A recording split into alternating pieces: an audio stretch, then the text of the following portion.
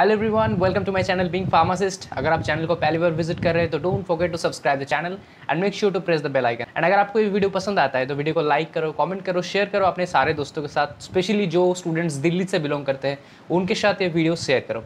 Actually इस video में हम लोग बात करेंगे, अगर आप दिल्ली के स्टूडेंट्स हो मतलब अगर आप दिल्ली के रहने वाले हो, दिल्ली के रेजिडेंशियल हो, और आपने अगर दिल्ली से बी फार्म या डी फार्म कंप्लीट किया है, या फिर इंडिया के किसी भी स्टेट से, किसी भी कॉलेज से बी फार्म या डी फार्म कंप्लीट किए हो तो अभी आपको अप्लाई करना है फार्मासी रजिस्ट्रेशन के लिए अपने काउंट किसी भी स्टेट से आप लोग बी फार्म या डी फार्म करो, आपका जो रजिस्ट्रेशन है फार्मासी रजिस्ट्रेशन है, वो होने वाला है आपके खुद के काउंसिल से। मतलब आपका डोमिशियल स्टेट के जो काउंसिल है, वहीं से होने वाला है। तो कैसे आपको अप्लाई करना है, इसके रिगार्डिंग होने वाला है ये क्योंकि हर स्टेट का जो फार्मेसी काउंसिल है, वो अलग है। एंड उनका रजिस्ट्रेशन प्रोसेस भी अलग है। कुछ कुछ हद तक वो एक ही है सिमिलर है, लेकिन कुछ कुछ अलग भी है। तो इसीलिए मैं इस सीरीज़ जो बना रहा हूँ, इस सीरीज़ में मैं हर स्टेट को प्रायोरिटी वाइज जितना आप प्रायोरिटी आप स्टेट्स को देंगे, उस नंबर ऑफ़ प्रायोरिटीज़ को देखते हुए मैं हर एक स्टेट के लिए अलग अलग वीडियो बनाते रहूँगा। जैसे कि ऑलरेडी राजस्थान, महाराष्ट्र एंड वेस्ट बंगाल एक के बाद एक तीन स्टेट्स का जो रजिस्ट्रेशन प्रोसेस है ऑलरेडी मैंने फुल तीन वीडियो बना दिया है। अगर आप लोग इस किसी स्टेट से बिलोंग करते हैं आदर राजस्थान और महाराष्ट्र और वेस्ट बंगाल नीचे लिंक है आपका प्लेलिस्ट का, आप लोग जाके देख सकते हैं, आपको वो तीनों वीडियो मिल जाएँगे। और इसके बाद आप किस स्टेट से बिलोंग करते हैं उसके हिसाब से प्रायोरिटी के हिसाब से आप इस वीडियो को नीचे लिंक में कमेंट करेंगे। हमको इस स्टेट के ऊपर वीडियो चाहिए नेक्स्ट तो मैं उसी पर फोकस करके जो भी सबसे प्रायोरिटी होगा, उस पर ऊपर बनाते रहूँगा। ठीक है? एक के बाद एक। लेकिन कोई चिंता की बात नहीं है, सारा वीडियोस होगा एक के बाद एक। पहले आप लोग ऑनलाइन अप्लाई करेंगे। ऑनलाइन अप्लाई यहाँ पे दो तरीके से होता है। पहले आपको वेलफेयर में रजिस्ट्रेशन करना होगा, दूसरा आप लोग न्यू रजिस्ट्रेशन करेंगे। वेलफेयर का जो रजिस्ट्रेशन है, वो एक ही बार करना होगा आपका पूरी ज़िंदगी के लिए। जितनी बार आप लोग रिन्यूअल करेंगे, वो सेम ही होगा, ठीक है? पहले वेलफेयर रजिस्ट्रेशन होगा, उसमें एक चार्ज लगेगा, उसमें कुछ डॉक्यूमेंटेशन वगैरह कुछ नहीं चाहिए। नॉर्मल सा एक बेसिक रजिस्ट्रेशन है, वो करेंगे आप, वो वेलफेयर रजिस्ट्रेशन नंबर मिल जाने के बाद आप लोगों को न्यू रजिस्ट्रेशन पे अप्लाई करना होगा। उसको सारा डॉक्यूमेंट्स आपको अप्लाई अपलोड करना होगा। अपलोड करने के बाद आपको फ़ीस पेमेंट करना होगा, ठीक है? फ़ीस पेमेंट करने के बाद अभी के लिए वो बंद, ठीक है? अभी जैसे ही आपने फ़ीस पेमेंट कर दिया, उससे ठीक दस दिन बाद after ten days of fees payment fee payment complete हो गया, उसके टेन डेज़ आप लोग काउंट करेंगे। दस दिन के बाद एनी डे आपको जाना होगा। पहले तो पेमेंट वेरिफिकेशन होगा, दूसरा है डॉक्यूमेंट वेरिफिकेशन होगा एंड तीसरा इंटरव्यू होगा। पेमेंट वेरिफिकेशन के लिए आपको जाना होगा ठीक है? वहाँ पे फार्मेसी जो काउंसिल है वहाँ आपका दिल्ली काउंसिल में वहाँ पे जाके आपको जो नम काउंटर है वहाँ पे बताना होगा कि मैं पेमेंट वेरिफिकेशन के लिए आया हूँ। तो पे, पेमेंट का जो नंबर है दो डॉकेट नंबर आपको मिलेगा वहाँ पे मैं दिखा दूँगा आपको कौन सा है। तो वो मिलने के बाद वो आपको पूछा जाएगा ठीक है? तो आपको वो दिखाना होगा या फिर बताना होगा। वो देते ही उनको पता चल जाएगा कि आपने ये सब कुछ किया है कि नहीं।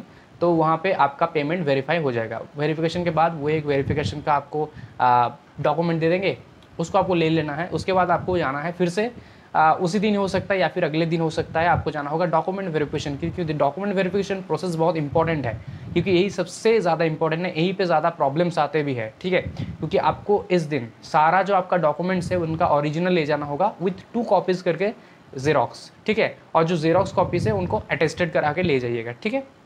ओके सो ओरिजिनल डॉक्यूमेंट्स वो लोग सारा देखेंगे जेरोक्स वो लोग ले लेंगे। बहुत अच्छी तरीके से वेरिफिकेशन होगा, क्योंकि सारा फिजिकली वो देखेंगे कि सब कुछ सही है कि नहीं। ठीक है? ओके हो जाने के बाद आपको वेट करना है। उसके बाद आपको वो जो सारा कुछ फ़ाइल है, वो जाएगा रजिस्टर सर के पास, या फिर रजिस्टर मैम जो भी आप रहेंगे वहाँ पे।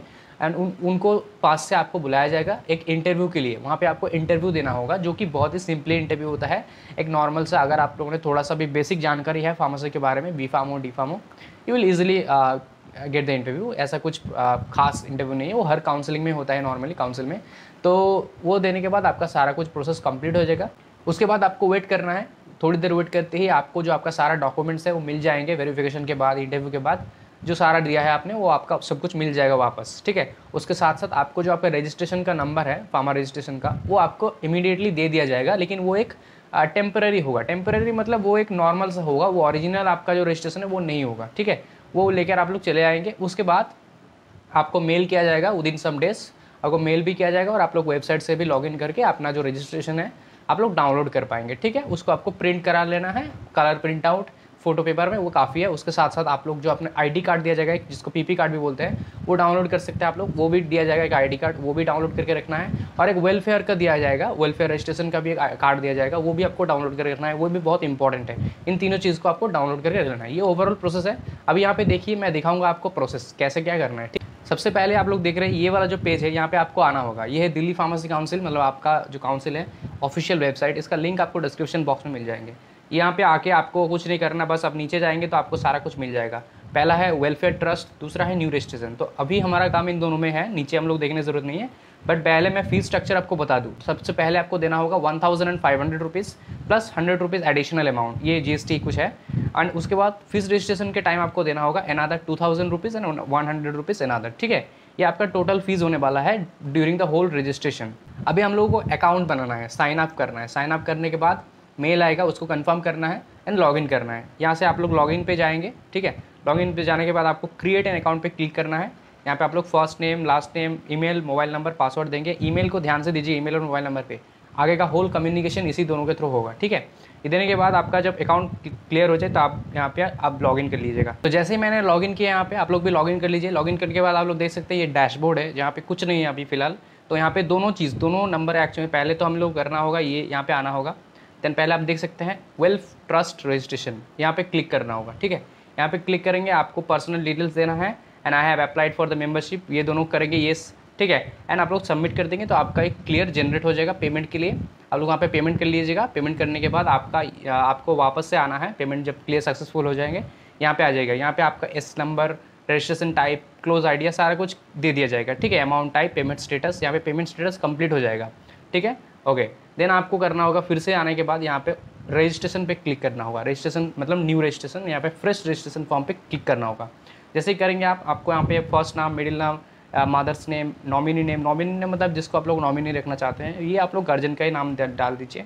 Date of birth mobile number gender blood group nationality pass out ठीक है? फार्मासी फार्मेसी आप लोग दिल्ली से पास किया है या फिर आउटर स्टेट से?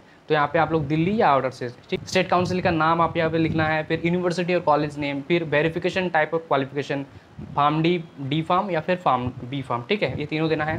देन आपको देना है आपका कॉरेस्पॉन्डेंस एड्रेस मतलब जिस एड्रेस के साथ वो लोग आपका कम्युनिकेशन करेंगे एंड परमानेंट एड्रेस ये दोनों सेम भी हो सकता है, ठीक है? एडुकेशनल डिटेल्स देना है, देन आपको देना है एड्रेस ऑफ़ हॉस्पिटल और डिस्पेंसरी और other place of employment present ठीक है? उसके बाद डॉक्यूमेंट्स टू बी अपलोडेड कौन कौन से डॉक्यूमेंट लिख लीजिए ध्यान से सुन लीजिए। पहले लगेगा आपका फ़ोटो ठीक है? देन सिग्नेचर देन टेंथ का सर्टिफिकेट देन ट्वेल्थ का सर्टिफिकेट देन डिग्री और डिप्लोमा सर्टिफिकेट ठीक है?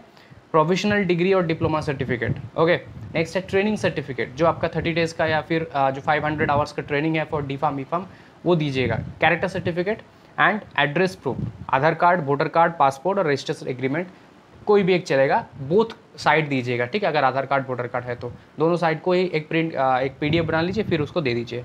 ठीक है? ये सारा डॉक्यूमेंट्स आपको लेगा फिर यहाँ पे कुछ एस नो करके लिखेगा ये सारा कुछ पढ़ लीजिएगा। एंड सबमिट कर देंगे तो आपको पेमेंट का फिर से ऑप्शन आ जाएगा। वहाँ पे आप लोग पेमेंट कर लीजिए। यहाँ पे सारा कुछ आपका ओरिजिनल अपलोड होगा, ठीक है? ठीक है? वो करने के बाद आपका दोनों हो जाएगा यहाँ पे, फिर से आप डैशबोर्ड पे आ जाएगा अभी आपका कुछ काम नहीं है, ये हो गया। अभी जैसे कि मैंने बताया, ये दोनों पार्ट हो जाने के बाद 10 दिन तक आपको कुछ नहीं करना है। 10 दिन जैसे हो गया, उसके बाद से किसी भी दिन आप लोग जा सकते हैं। आपको पहले जान लेना है कि अपने स्टेट्स में अभी कौन कौन से दिन काम हो रहा है। ठीक है, जितना मुझे पता है कि थर्सडे और फ्राइडे काम होता है नॉर्मली ये दोनों जो काम है नॉर्मली फार्मेसी रजिस्ट्रेशन को लेकर। लेकिन आप लोग एक बार क्लैरिफाई कर लीजिए नंबर तो दिया हुआ है, वहाँ पर कॉल कर लीजिए एंड पूछ लीजिए कि कब कब काम हो रहा है। उस दिन आप लोग जाइए and try to been morning ठीक है? थोड़ा सा पहले ट्राई कीजिए पहुँचने की कि साढ़े आठ से नौ बजे के बीच में पहुँच जाऊँ, ठीक है? वहाँ पे पहले आपको पेमेंट वेरिफिकेशन करना है डॉक्यूमेंट वेरिफिकेशन डॉक्यूमेंट वेरिफिकेशन के बाद, जैसे कि मैंने बताया इंटरव्यू देना है। इंटरव्यू देने के बाद उसी दिन आपको मिल जाएँगे सारा कुछ, ठीक है? अभी आपको नेक्स्ट क्या करना है? आपको वापस से आ जाना है, ठीक है? अभी कुछ दिनों के अंदर आपको एक मेल आ जाएगा जो मेल पे आपको पीडीएफ मिल जाएगा और पीडीएफ मिल जाने के बाद यहाँ पे भी आप लोग आएँगे, जैसे कि मैंने दिखाया लॉगिन करके, उस लॉगिन के साइड में आपका ऑप्शन रहेगा। आईडी कार्ड डाउनलोड करने का एंड दोनों रजिस्ट्रेशन डाउनलोड करने का। एक तो पहला है आपका नॉर्मल फ़ीस फार्मेसी रजिस्ट्रेशन एक है पीपी कार्ड या फिर आईडी कार्ड और तीसरा है जो वेलफेयर सर्टिफिकेट है, इन तीनों को आपको डाउनलोड करना है। तो यहाँ पे एक और चीज़ मैं बता दूँ फार्मेसी रजिस्ट्रेशन सर्टिफिकेट जो है एंड वेलफेयर इनको आपको फ़ोटो कॉपी में डाउनलोड करना है मतलब प्रिंट कराना है फ़ोटो पेपर में।